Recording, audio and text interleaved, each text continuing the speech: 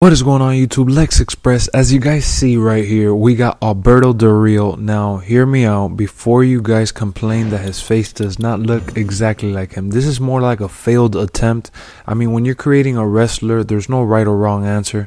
You know, it's to your style, to your liking. I did what I could without uploading absolutely anything.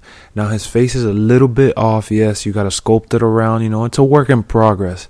But what I like about this cause that I created was, you know, putting in the the tattoos as similar as I could, and getting the attire as similar as I could.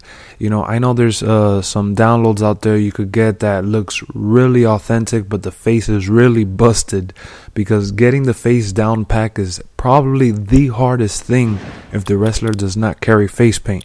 Alberto Del Rio has a unique face, so when you upload his picture to the game, it does not look very good. So I went with no picture this time. I did everything custom myself. I got it from the game design. You know, I switched the colors around, switched the material around to try to give it that authentic, you know, hell in the cell attire feel. Now, as you guys see there right there, they got the wings in the game to give you that Alberto Del Rio trunks, and then they got the pads, uh, the knee pads. Uh, now, I have seen other created uh, Del, Del Rios, but they don't have the right knee pads. If you guys go back to Hell in the Cell 2015 and look at his knee pads, he wears the ones that have a gap in the back. These are the ones that he has on, you know, for me. So, you know, I put some um, little designs on it and stuff like that. I made it black and gold, which is exactly the colors he was wearing on Hell in the Cell. And then as you guys see that they got the little banner around his neck, which I'm gonna give it to him, even though he didn't come out with it.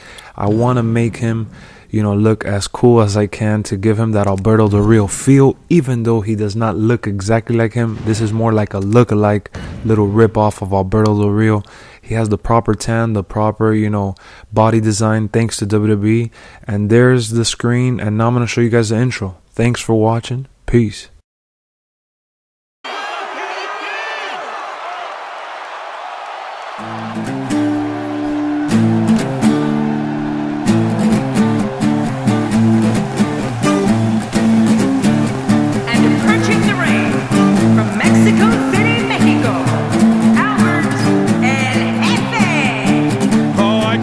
Hell in a Cell is a superstar in its own right. This event sold out well before we even knew who was going to compete inside the Devil's Playground.